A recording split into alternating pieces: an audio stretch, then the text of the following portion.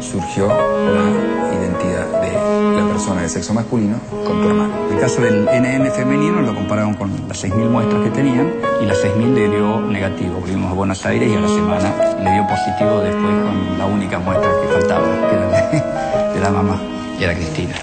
Tenemos en esto sí una identidad común, que no es poca cosa que los derechos humanos sean una política de Estado en la República Argentina.